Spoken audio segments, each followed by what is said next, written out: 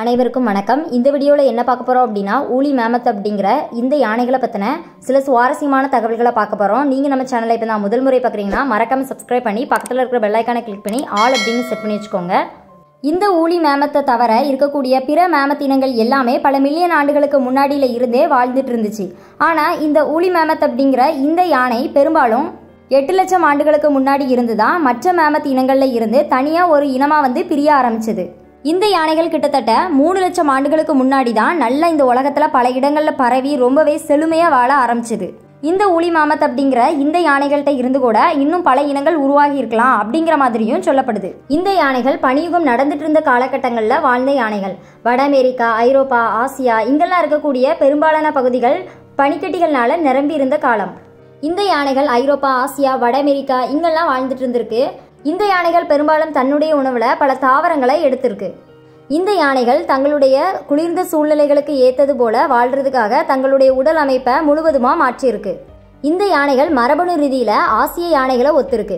அதே போல் பதினாறு அடி நீளமுடைய இந்த யானைகளோட தந்தங்கள் பெரும்பாலும் பனியில் மறைஞ்சிருக்கக்கூடிய புட்கள் புதர்கள் இது எல்லாமே தோன்றதுக்கு பயன்படுத்தியிருக்கு அப்படிங்கிற மாதிரியும் சொல்லப்படுது. இந்த யானைகளோட ஆயுட்காலம் அறுபதுலேருந்து எண்பது ஆண்டுகள் வரைக்கும் இருந்திருக்கலாம் அப்படிங்கிற மாதிரியும் சொல்லப்படுது. இந்த யானைகள் பதிமூணு அடி உயரம் வரைக்கும் இருந்திருக்கு. இந்த யானைகள் மற்ற மேமூத் இன யானைகளை காட்டிலும் சிறியதாகவே இருந்திருக்கு. இந்த யானைகளுக்கு ஆரஞ்சு நிறத்தில் நல்ல அடர்த்தியான உரோமங்கள் அப்படிங்கிறது இருந்திருக்கு. இந்த யானைகளுக்கு சிறிய காதுகள் இருக்குது ஆனால் இப்போ வாழ்ந்துட்டு இருக்கக்கூடிய ஆசிய யானைகளாக இருக்கட்டும் இல்லை ஆப்பிரிக்க யானைகளாக இருக்கட்டும் பெரிய காதுகள் இருக்குது குறிப்பாக ஆப்பிரிக்க யானைகளுக்கு பெரிய காதுகளாகவே இருக்குது தான் வாழ்ந்துட்டு இருக்கக்கூடிய சூழ்நிலையும் வந்து வெப்பமாக தான் இருக்குது தன்னுடைய உடலில் இருக்கக்கூடிய அந்த வெப்பத்தையும் வந்து நீக்கணும். இதுக்காக தான் தன்னுடைய காதுகளை தன்னுடைய பெரிய காதுகளை பயன்படுத்துது. அப்போ வாழ்ந்துட்டு இருந்த ஊலி மேமத் அப்படிங்கிற இந்த யானைகளுக்கு சிறிய காதுகள் இருக்கிறதுக்கான ஒரு முக்கிய காரணமாக சொல்லப்படுறது பெரும்பாலும் இந்த யானைகள் வாழ்ந்துட்டு இருந்தக்கூடிய சூழ்நிலை அப்படிங்கிறது. குளிர்ந்த நிலைமையில இருந்துச்சு. தன்னுடைய உடல் வெப்பநிலையை அதிகப்படியாக வெளியேற்றக்கூடாது அப்படிங்கிறதுக்காக தான் சிறிய காதுகள் இருந்ததாகவும் சொல்லப்படுது. இந்த யானைகளுக்கு நாலு பெரிய கடவாய் பற்கள் இருந்திருக்கு. வாழ்நாளில் ஆறு முறை உளுந்து அதுக்கப்புறமா முளைக்குது. ஆண் யானைகளோட எடை பனிரெண்டாயிரம் பவுண்டுகள் வரைக்குமே எடையுடையதாக இருந்திருக்கு. அதே போல் பெண் யானைகள் எட்டாயிரம் பவுண்டுகள் வரைக்குமே இருந்திருக்கு எடை. புதுசாக பிறந்த யானைக்குட்டியோட எடை இரநூறு பவுண்டுகள் வரைக்கும் இருந்திருக்கு. இந்த யானைகள் முற்றிலும் ஒரே நேரத்தில் அழிஞ்சு போல கொஞ்சம் கொஞ்சமாக தான் அழிஞ்சு போயிருக்கு. ஆர்டிக் பகுதிகளுக்கு பக்கத்தில் நாற்பத்தைந்தாயிரம் ஆண்டுகளுக்கு முன்னாடி இருந்த சில யானைகள் அழிஞ்சு போச்சு. அதே போல் பன்னிரெண்டாயிரம் ஆண்டுகளுக்கு முன்னாடி சில பகுதிகளில் இந்த யானைகள் அப்படிங்கிறது அழிஞ்சு போச்சு. அதிகபட்சமாக பத்தாயிரம் ஆண்டுகளுக்கு முன்னாடி பல இடங்களில் உள்ள யானைகள் முற்றிலுமாக அழிஞ்சு போயிட்டு. இந்த யானைகளோட மோசமான ஒரு அழிவுக்கு காரணமாக சொல்லப்படுறது பெரும்பாலும் ஆரம்பகால மனிதனோட ஆதிக்கம் அப்படிங்கிறது அதிகமாகவே இருந்திருக்கு. இந்த விலங்குகளை முற்றிலும் வேட்டையாடணும் அப்படிங்கிற ஒரு எண்ணம் மட்டும்தான் ஆரம்பகால மனிதனுக்கு இருந்திருக்கு. யானைகளோட உரோமத்தை போர்வையாகவும் அதே போல இந்த யானைகளோட அந்த ஒரு தந்தங்களை பெரும்பாலும் நல்ல ஈட்டி அம்பு இந்த மாதிரியான ஆயுதங்கள் தயாரிக்கிறதுக்காகவும் பயன்படுத்தியிருக்காங்க. இந்த யானைகளோட எலும்புகள் தந்தம் இது எல்லாமே பயன்படுத்தி தங்குமிடத்தை அமைச்சிருக்காங்க. இந்த யானைகளோட தந்தங்களை பயன்படுத்தி தயாரிக்கப்பட்ட புல்லாங்குழல் ஜெர்மனியில கண்டுபிடிச்சிருக்காங்க. ஒரு யானையை வேட்டையாடினா கூட அதுல இருந்து வரக்கூடிய பலன் அப்படிங்கிறது ரொம்பவே அதிகமாவே இருந்திருக்கு. இந்த யானைகளோட அழிவுக்கு ஆரம்பகால மனிதனும் ஒரு முக்கிய காரணமா இருந்திருக்கான் அப்படிங்கிற மாதிரியும் சொல்லப்படுது. பனியுகம் முடிஞ்சதுக்கு அப்புறமா காலநிலை மாற்றம் காரணமா பல இடங்கள்ல வெப்பநிலை அதிகரிக்க ஆரம்பிச்சது. பல இடங்கள்ல பனிக்கட்டிகள் உருகி நீர்மட்டம் உயர ஆரம்பிச்சது.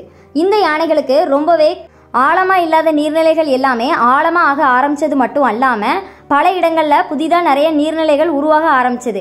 இந்த யானைகளோட வாழ்விடங்கள் அப்படிங்கிறதும் பெரும்பாலும் அழிக்கப்பட்டுச்சு.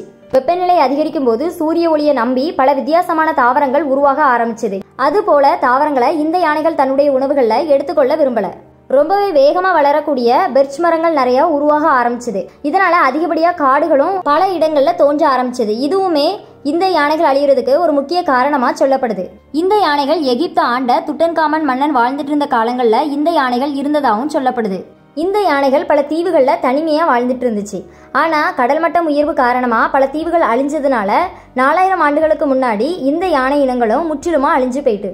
சைபீரியால இந்த யானைகளோட எலும்புக்கூடு தந்தங்கள் இது எல்லாமே அதிகப்படியாக கண்டுபிடிச்சிருக்காங்க. மெக்சிகோல ஒரே இடத்துல மட்டுமே இந்த யானைகளோட எலும்புக்கூடு இருநூறுக்கும் அதிகமாக கண்டுபிடிச்சிருக்காங்க. இந்த யானைகளோட தந்தங்கள் பல இடங்கள்ல கிடைக்கிறதுனால சட்டத்துக்கு விரோதமா பல இடங்கள்ல விற்பனை செய்யப்படுது. இந்த யானைகளை மறுபடியும் இந்த உலகத்துக்கு கொண்டு வர முடியுமா அப்படிங்கிற மாதிரி பல ஆராய்ச்சிகள் நடந்துட்டு இருக்கிறதாவும் சொல்லப்படுது. இந்த யானைகளை பற்றின ஆராய்ச்சி இப்போ நடந்துட்டு இருக்கக்கூடியது ஒன்றும் இல்லை. கிட்டத்தட்ட ஆயிரத்தி எழுநூறாவது ஆண்டுகளில் இருந்தே இந்த யானைகளை பற்றின ஆராய்ச்சி நடந்துட்டு இருக்கு இந்த யானைகளோட எலும்புக்கூடு ஆயிரத்தி எழுநூத்தி தொண்ணூத்தி ஒன்பதுல தான் முதன் முதல்ல கண்டுபிடிச்சிருக்காங்க. ஆயிரத்தி எழுநூறாவது ஆண்டுகள்லாம் இந்த யானைகளை பல இடங்கள்ல உறைஞ்ச நிலைமையில கண்டுபிடிச்சிருக்காங்க. அந்த யானைகளை வந்து வெட்டி பல இடங்கள்ல அதிகமான விலைக்கு வித்திருக்காங்க. உறைஞ்ச நிலைமையில கண்டுபிடிக்கப்பட்ட இந்த யானைகளை ஆயிரத்தி எண்ணூறாவது ஆண்டுகள்லாம் நாய்களுக்கு கொடுத்துருக்காங்க. உறைஞ்ச நிலைமையில கண்டுபிடிக்கப்பட்டது பெரும்பாலும் யானை குட்டிகளாக தான் இருந்திருக்கு. உறைஞ்ச நிலைமையில கண்டுபிடிக்கப்பட்ட யானை குட்டிகளை வச்சு பல ஆராய்ச்சிகளை ஆராய்ச்சியாளர்கள் பண்ணியிருக்காங்க. சமீபத்தில் உறைஞ்ச நிலைமையில இருக்கக்கூடிய ஒரு யானை குட்டியை கண்டுபிடிச்சிருக்காங்க. அந்த யானைக்குட்டியோட அடி வயிற்றுல நல்ல வந்து திரவ நிலைமையில ரத்தம் வந்து இருந்திருக்கு. இதனால என்ன சொல்றாங்கன்னா இந்த யானைகளுக்கு நல்ல வந்து உறைபனியை எதிர்க்கக்கூடிய ஒரு எதிர்ப்பு சக்தி இருக்கு அப்படிங்கிற மாதிரி சொல்றாங்க. இந்த குட்டி யானைகள் ரெண்டுல இருந்து மூணு வருடங்கள் தன்னோட தாயிட்ட பால் குடிச்சிருக்கலாம் அப்படிங்கிற மாதிரியும் கண்டுபிடிச்சிருக்காங்க.